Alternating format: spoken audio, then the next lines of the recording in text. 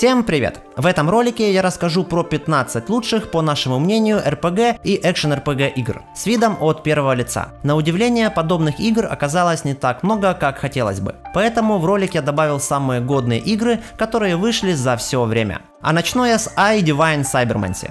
Это отличный RPG-шутер, которому для широкой известности не хватило бюджета и опыта. Перед нами типичная инди-игра. Интересные идеи и нетривиальный игровой процесс соседствуют со слабым техническим исполнением. Но даже в таком виде игра увлекает, потому что здесь есть главное – атмосфера настоящего киберпанка, богатая на возможности ролевая система и нелинейность. Здесь мы выступим в роли одного из членов странного секретного общества, которое пытается бороться с могущественной федерацией, коалицией нескольких миров и планет, управляемых жестоким диктатором. Здесь мы будем в самом центре братской войны, полной политических заговоров и попыток захвата власти. Внешне игра во многом похожа на первый Deus Ex, Warhammer 40k и System Shock, но только визуально и тем, что это киберпанк. Все остальное же по геймплею очень сильно отличается. Игра нелинейна, и в ней есть много выбора, который бесповоротно влияет на сюжет.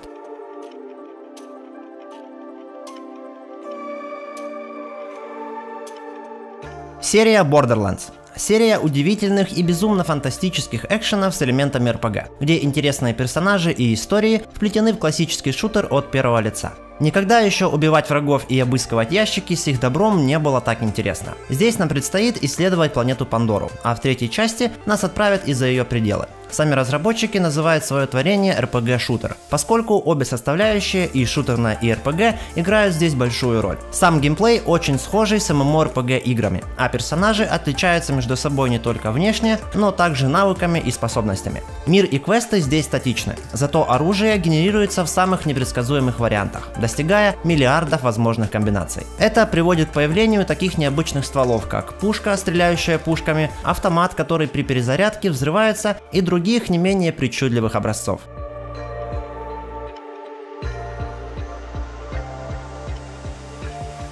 Дилогия Dishonored Дилогия стелс-экшенов с видом от первого лица, в которых также присутствуют RPG-элементы. Эти игры отличаются необычным сеттингом и грамотным смешением геймплейных механик. Здесь можно комбинировать стелс с открытыми сражениями и использование сверхъестественных способностей, за счет чего существенно повышается вариативность прохождения миссий и степень погружения в игровой мир. События игры происходят в антуражном стимпанк-городе. Главный герой – королевский воин. Он получает сверхспособности и пытается отомстить врагам короны и спасти принцессу. Во второй части можно выбрать главного героя. Этот выбор будет кардинально влиять на стиль прохождения, количество экшена и крови. А если хочешь поиграть во что-то с друзьями, то обрати внимание на бесплатную игру про Россию Next RP. Это ролевая онлайн-игра в жанре приключенческого боевика, где мы в роли обычного жителя будем подниматься из самых низов среди таких же игроков из стран СНГ в большом открытом мире, созданном на основе реальных городов России и режимом ролеплей. В игре много разностороннего контента. Здесь воссозданы почти все госструктуры, от полиции до мэрии, и есть возможность создать или вступить в клан. Можно устраивать гонки, поднять денег и купить недвижимость, найти подружку, жениться и жить вместе. В игре присутствует огромный выбор самых разных машин с возможностью их тюнинга, а также сюжетная линия. Ну а разработчики постоянно добавляют новый контент, устраивают розыгрыши и разные ивенты. Так что зови друзей, скачивайте игру по ссылке в описании и вливайтесь.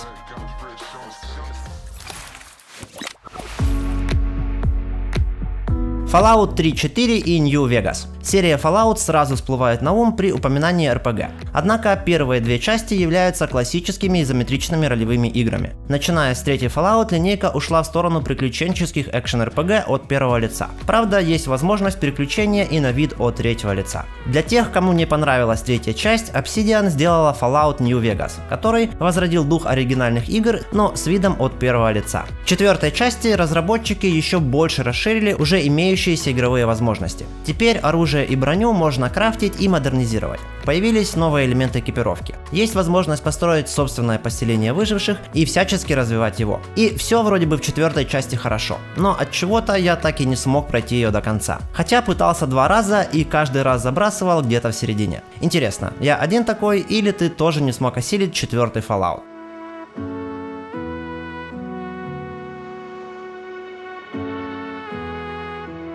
Cyberpunk 2077 был самой ожидаемой игрой 2020 года, и хайпа CD Projekt Red нагнала знатного. А на выходе сам знаешь, что получилось. Но ситуация сейчас совсем другая. Игра более оптимизирована, и многие баги давно пофиксили. И всем, кто отложил игру до лучших времен, я могу сказать, что уже можно начинать играть. Что касается самой игры, то огорчил очень короткий основной сюжет, чрезмерное количество матов локализации и второстепенные квесты из разряда «приди, убей». Однако, несмотря на недостатки, качество истории на уровне. Это история, в которой ты понимаешь мотивацию персонажей и реально сопереживаешь им. При первом прохождении концовка просто выжимает из тебя все эмоции.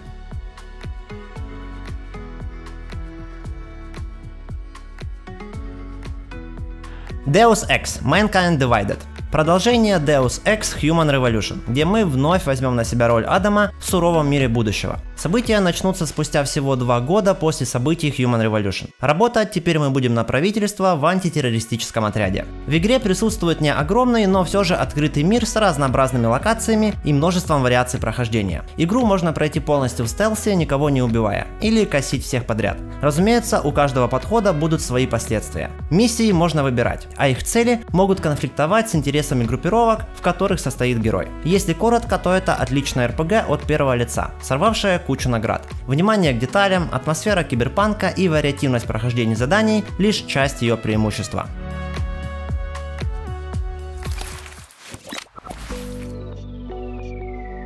Kingdom Come Deliverance РПГ с большим открытым миром, действие которой разворачивается в средневековой Европе, где люди сражаются за власть и жизнь. Сюжет достаточно хорошо приближен к реальности и здесь нет фэнтези элементов. Событие разворачивается в 1403 году. Игра совершенно нелинейна, и мы можем быть как героями, так и злодеями, а действия сюжета перекликаются с настоящими историческими событиями. В игре нет четкого разделения на классы, поэтому можно развивать персонажа в любом из множества направлений. Графика не самая продвинутая, но все равно красивая. Местами виды завораживают. Это одна из тех игр, в которых есть быстрое перемещение, но им не хочется пользоваться. Сюжет интересный, размеренно подается и даже с неожиданными поворотами. Персонажи яркие, запоминающиеся, некоторые даже станут родными. Боевка необычная. Стрельба специфична, но тут главное привыкнуть, и тогда начинаешь получать от нее нереальное удовольствие.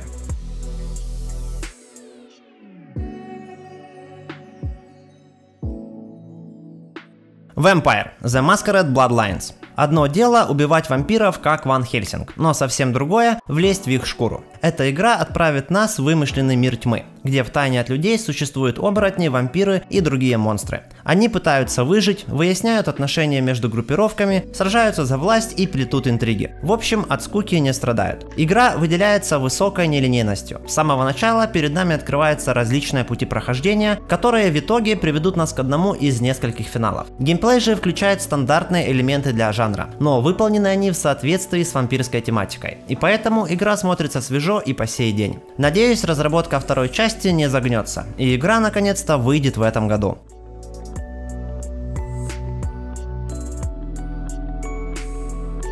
Зив Последняя на сегодня часть знаменитой серии, повествующая о приключениях вора по имени Гаррет, выполненная в жанре стелс-экшена от первого лица с примесью RPG элементов. По сути, это полноценный перезапуск серии, в котором реализованы многие классические фишки, а также добавлены новые. Мир игры совмещает собой эстетику викторианской эпохи с большой примесью стимпанка. В основе геймплея помимо стелс-составляющей стоит возможность выбора. В частности, все уровни имеют несколько возможных путей прохождения, зачастую неочевидных на первый взгляд. Помимо основных сюжетных заданий, Гаррет может заниматься нахождением и кражей несюжетных вещей и предметов. Если же его заметят охранники, то расплата неминуема. Все-таки наш персонаж не крутой герой боевиков.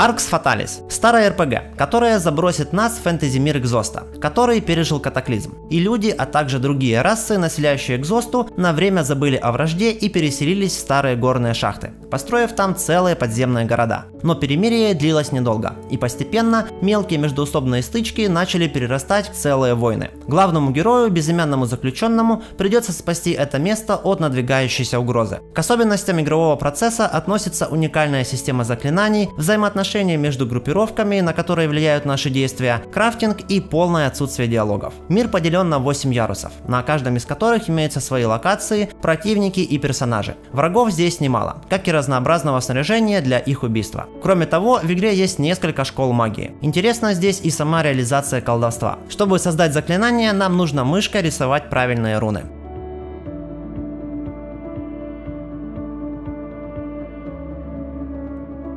Dark Messiah of Might and Magic. Эта игра по вселенной Heroes of Might and Magic является идейным наследником Arx Fatalis. Сюда прикочевала боевка и некоторые ролевые элементы. Сюжет перенесет нас в фэнтези-мир, в котором ученик могущественного мага ввязывается в события, которые приведут его к спасению или уничтожению мира. Игра выделяется продвинутой для тех лет физикой, дотошным вниманием к деталям, нелинейным сюжетом и впечатляющей боевкой. Открытый мир отсутствует, хотя на локациях можно найти массу секретных мест. Несмотря на то, что в целом прохождение игры весьма линейно, в некоторых моментах у нас будет право выбора, как в плане прохождения локации, так и в плане сюжета.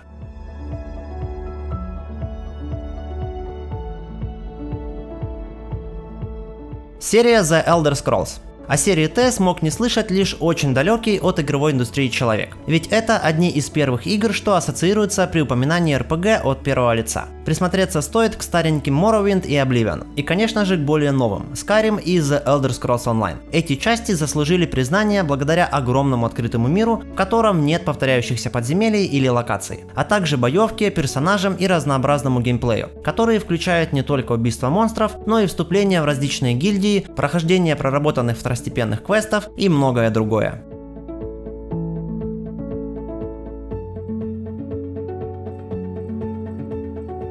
Дилогия Legend of Grimrock. Эти игры отличаются от прочих RPG из этого ролика. Вместо одного героя, здесь мы управляем сразу целой командой, высаженной на таинственный остров, недра которого скрывают множество пугающих тайн и опасностей. А весь игровой процесс пошаговый. Первая часть была тепло принята критиками и игроками, и второй удалось удержать планку качества. В играх нам предстоит выживать, исследовать подземелья, прокачивать навыки, решать головоломки и заниматься другими делами. В общем, все в лучших традициях RPG, но с иным взглядом на ключевые механики.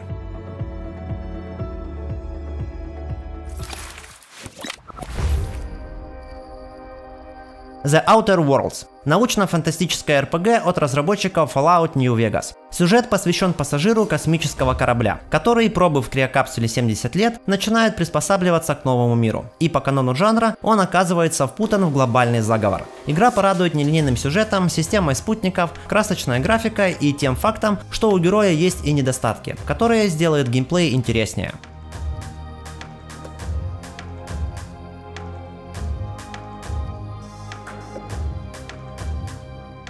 Серия Stalker Серия, которая пока что состоит из трех основных RPG-шутеров с элементами хоррора, позволяющих свободно исследовать огромную зону, которая представляет собой альтернативную, более мрачную и опасную версию реальной зоны отчуждения. По здешней зоне разгуливают самые разные люди с самыми разными целями, которые нередко объединяются в группы и даже целые фракции, ведущие между собой войны. Бандиты и мародеры, военные, сталкеры и наемники, фанатики из Монолита и анархисты из Свободы. Никогда не знаешь, что у этих ребят на уме и что принесет встреча с ними. Вдобавок, зона полна опасных аномалий, многие из которых невозможно заметить невооруженным взглядом. Да, и мутантов самых разных видов здесь предостаточно. Ну, в общем, ты и сам все знаешь. Кроме оригинальных трех частей, для серии доступно впечатляющее количество различных пользовательских модификаций, распространяемых совершенно бесплатно. Также с нетерпением ждем выхода Stalker 2. А на этом у меня все. Для вас вещал канал Image Game. Всем пока!